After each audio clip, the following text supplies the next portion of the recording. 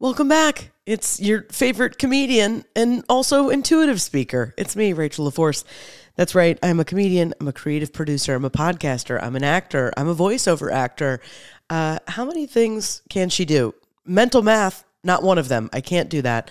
Don't worry, that's not what we're doing today. I want to offer you a oracle card reading.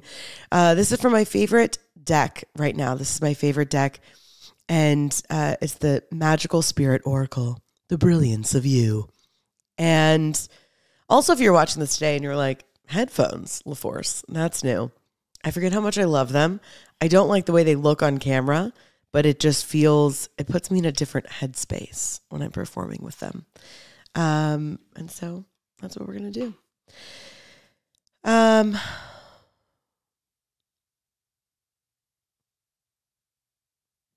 was a dramatic pause. I feel like did my did my um did my camera give out? What's happening? My computer. So what we're gonna do is I'm really feeling like I want to offer you some long term advice. I typically like to say that it's unsolicited. Uh, maybe some of you came here for advice and some of you were like, absolutely not, no thank you. And that would be fair. Okay. Just a grown woman recording these in her home studio with a Angels number 1111 t shirt on. Okay. Just a beacon of expertise. So I'm here for it. But we are, as I'm recording this, and I like to say that messages like these, which is why I thought about it, some messages that I leave you with are very kind of energetically timely. They're what's happening.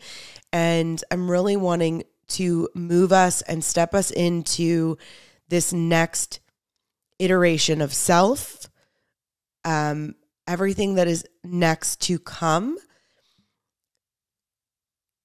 I don't think that anything is slowing down. In fact, it feels like everything is just going to accelerate.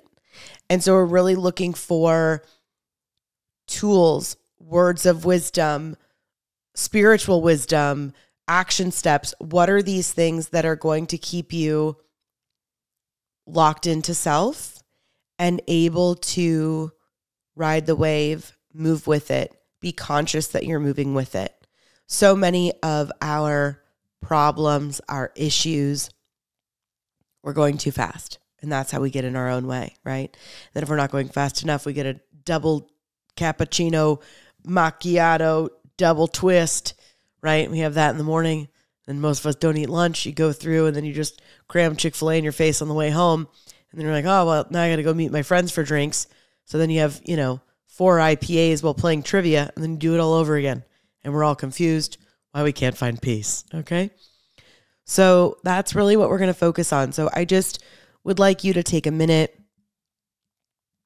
and just kind of sit with what's been coming up for you all winter. We're about to go into spring equinox, which for me, I I um I recognize that as the new year. I still think it's insane that we identify the new year as being the dead of winter, at least here in the States. I think that is hilarious, in fact, that we do that. We're all just freezing cold wherever we are, being like, Happy New Year! Certainly everything will be better now. Half of the reason why I think our resolutions or things that we set out to do fall flat, it, a lot of it is just energetic. That's simply the entire world is asleep. And, you know, it's our, our nature, everything else. And we've set these major, like, go get them goals. And it's like, dude, it's still dark out all the time. What are you talking about?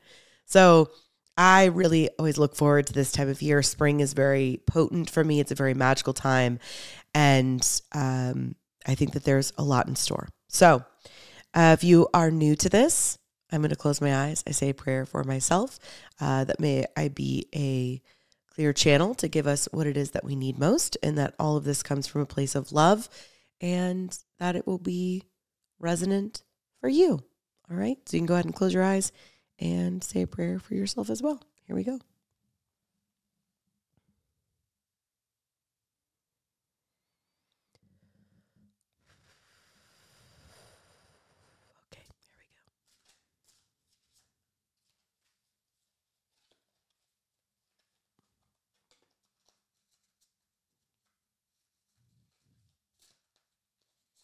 All right. So, how I do this, okay, this has been happening a lot. Some of you who uh, subscribed to these spiritual practices, modalities, things like that, you're probably already hip to it. Those of you that are just starting to dip your toe in, and you're like, I don't know how any of this works. This was always a thing for me that I was like the most, not skeptical, but I was like, I don't get it. Um, or oracle cards, tarot cards, things like that. Um, and really, I'm just going to give you my definition of how I see them working is in the same way that a scripture, right? So let's just talk about the Bible. A scripture may or a proverb may say one thing. And then depending on where you are in your life, you can go back to that exact same scripture and it means something entirely different for you, right? That's why, I mean, the Bible, got to give it to them. I mean, just number one selling book year after year, okay? So it must be doing something right. And it's because it is timeless and it is about humanity and our experiences. And so the oracle and both tarot, there are different symbols that represent different phases of life, uh, different things that we're experiencing and coming into. When I'm pulling cards, um, how I identify is I've I've now connected to my higher consciousness, and in the same way, if you uh, you're at your local Olive Garden and they say cheese, and you say yes, and they say say when, right? And then you dictate when the cheese is no more. That's what I'm doing.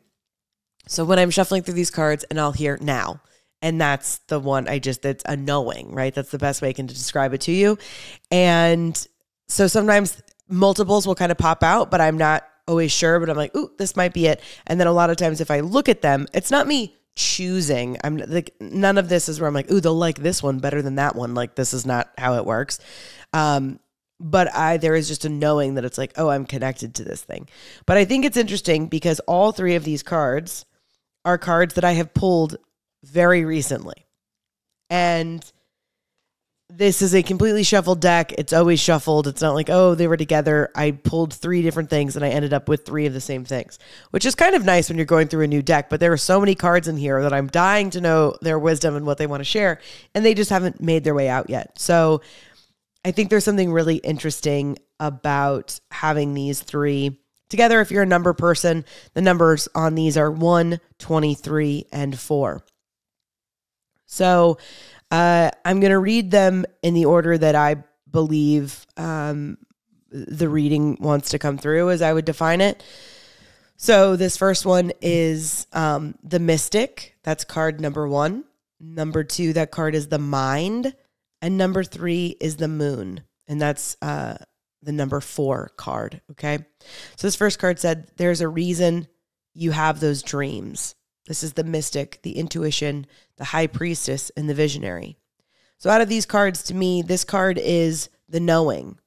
This is the part of you that knows, right?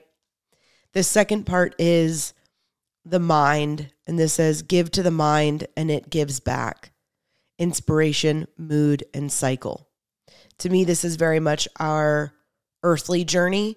So many of us guide ourselves by our mind. We're ruled by our mind, what it thinks, what it doesn't think. Okay. This third card is the moon, duality, hidden gem, or secret power.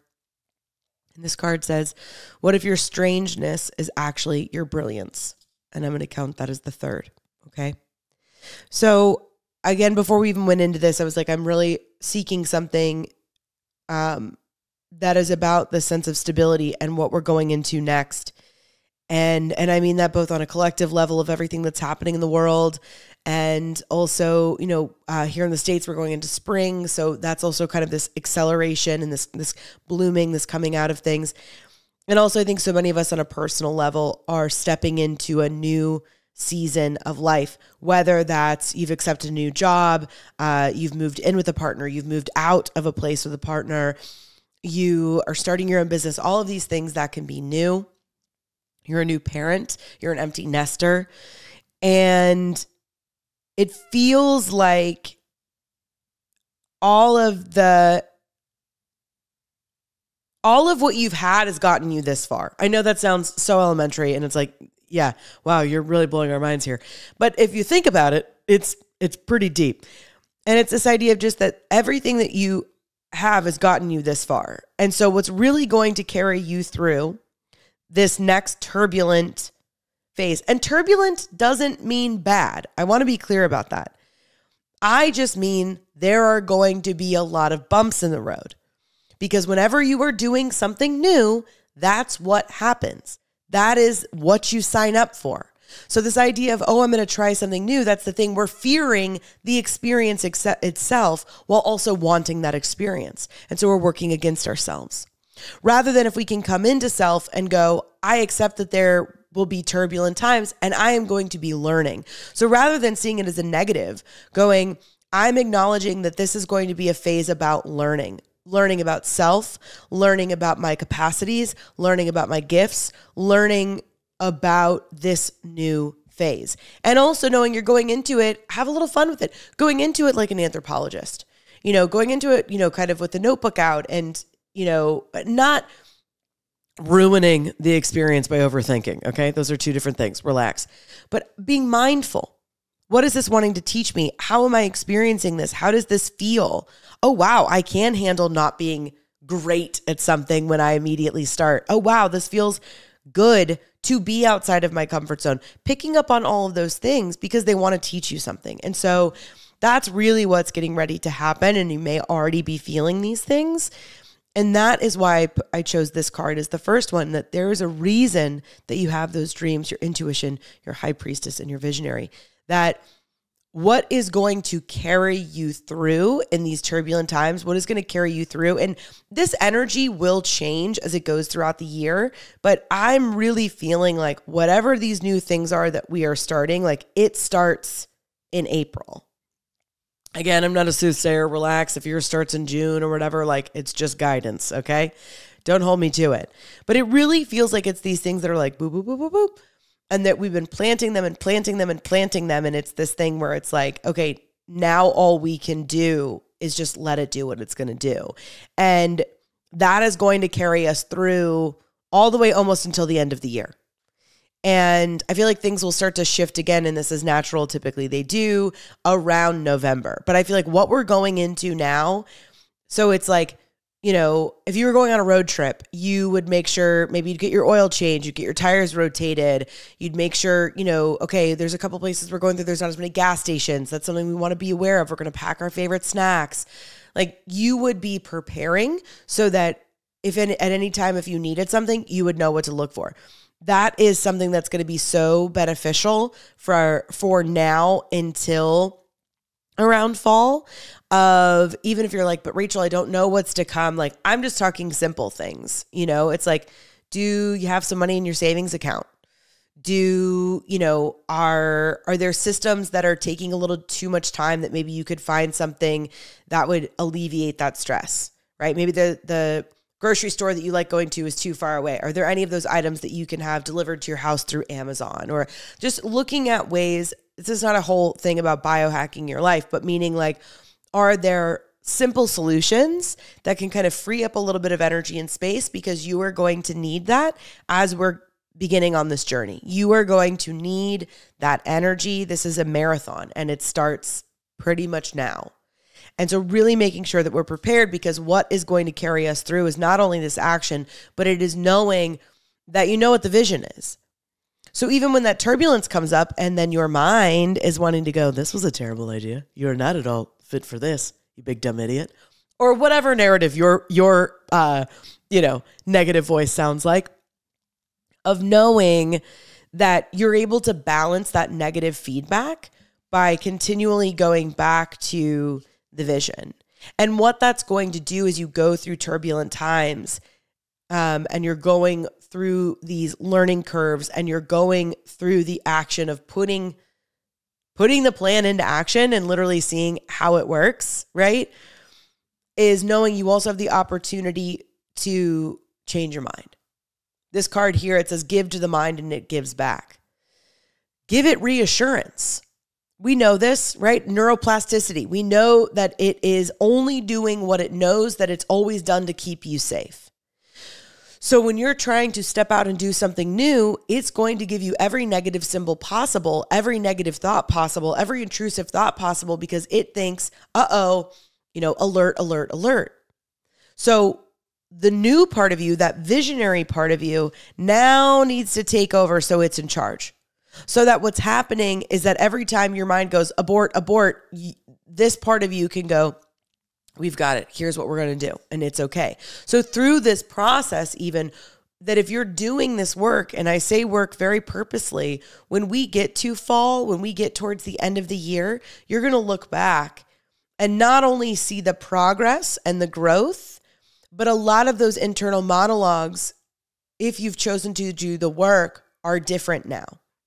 They're just different now because I think there's a lot of things that like you're wanting to bring through, that you're wanting to have kind of rise up. And it can't do that yet because you're not giving it the space to. So even if it's something where like you have to radically change your perception, even if you're not there yet. So, meaning like, I recorded a podcast earlier today. Most of you know that I'm um, rounding out postpartum with my second child. Losing and like getting back into a body that feels comfortable for me has been very challenging. Um, and I really was not feeling confident about myself. And I start hearing all these old thoughts coming up and all these things I'm saying and why, you know, really, really nasty things. And I just had to put a pin in it and be like, first of all, we would never speak to anyone like that. How awful. And second of all, what would it be like if you showed up as though um, you were like in, insanely hot? What would that be like? Because all of it is is a choice right? So when you and I just share that as a point of connection of like when you do get to that place and that mind starts to play tricks on you, you are going to need to override that system. That gets triggered and it goes, you can't do this. Look at all these errors that you made. Why would you think that you could have quit your job? You had this cushy situation and now you're trying this thing. You're in it. You you need to override that system. I need to come in, you need to hit that button and turn that sensor off and be like, "Thank you so much for wanting to do this to keep me safe." We've got this. If we're learning and we're making mistakes, that means we're making progress. Okay. And then that's when this third card comes in. So that one and two are really going to work in tandem. And this third card is really what I want you to have this sense of security. And this is probably going to be the toughest part because so what this card says, and it's, you know, what if your strangeness is actually your brilliance? And it's asking you to step out even further. And so you know, our mind is just a system. It does what it, what, you know, it's like, I want to move my left arm. Okay. So I move my left arm and like, you know, all of these things, but that this vision is only going to come through when you have your trust and you're making, and uh, uh, wait for it, taking action from that place of trust.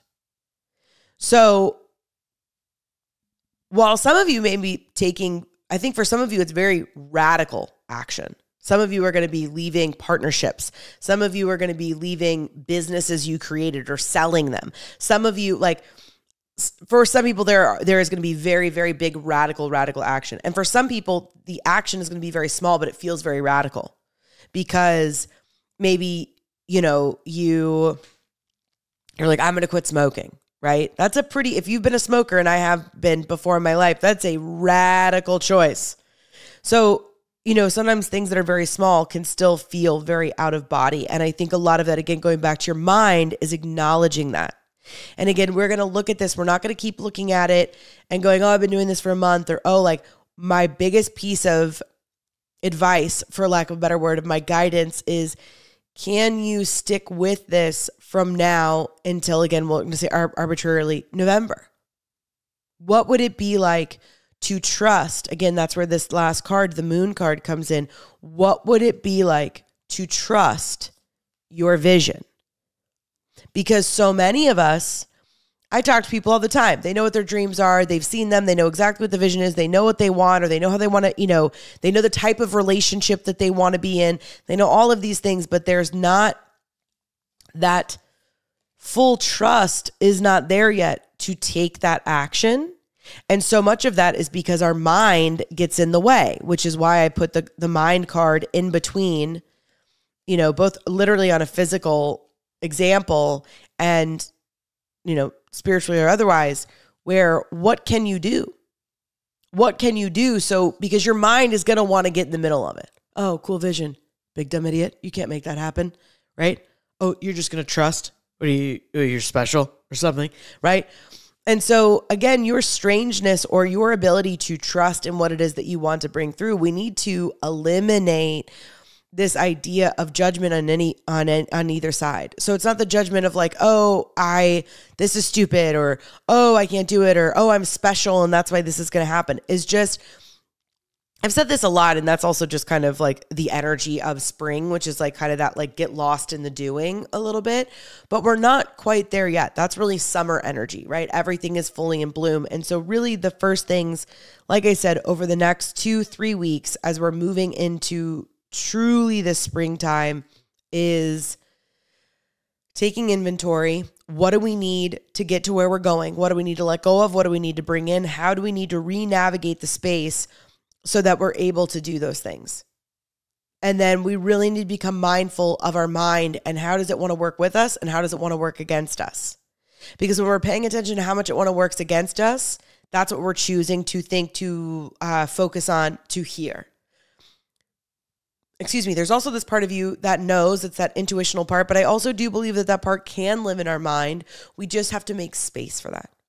So being mindful of those things and letting that both positive and negative live in the in between and always coming back to this sense of and I love that this is the moon card. The moon is known as like grandmother energy. It's the the womb.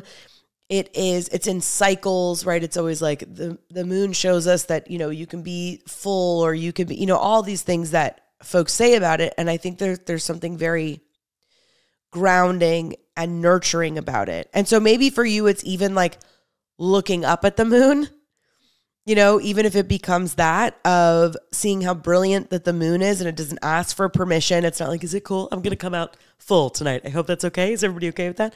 It just does its thing.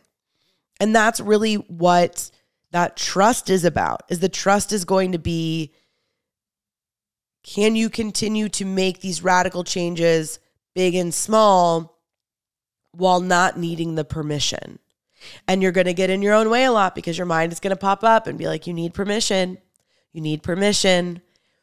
And that is, we're, this was pretty profound.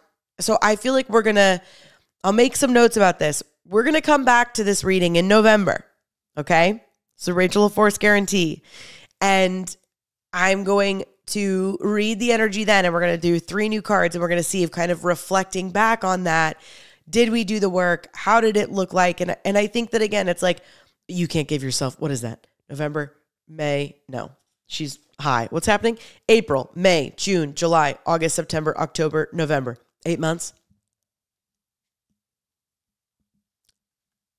You can give it eight months. Okay, you can give it eight months these things that you really want to do, these things that you're not paying attention to, eight months. That's it. That's all I ask. Okay. So that's what we're going to do is really getting clear on that. And let's, again, take those field notes. Get an actual fields note uh, notebook. Barnes and Noble's back. Apparently, they've made a splash. So you can actually go back to a Barnes and Noble physical place and you know go pick up one of those, pick up a Moleskine, something like that, and and so you can kind of track this. And then that way, you know, also know that I'll be doing it too. And that we're going to hold ourselves accountable and we're going to see what happens when we hold the vision, when we get comfortable making mistakes, when we learn from those mistakes, when we account for them. Again, that's that acknowledgement. Okay, here's what happened. And we continue to lean into that moon, into that trust, and that knowing that there is something on the other side of this. It's magical and it's brilliant and it's for you. And that's the biggest piece that it's for you. So the more that you stay in it and you stay present, we're going to get there on the other side. Or maybe we won't, but we'll check back in in November and we'll find out. All right. I've been Rachel Force. Love you, mean it.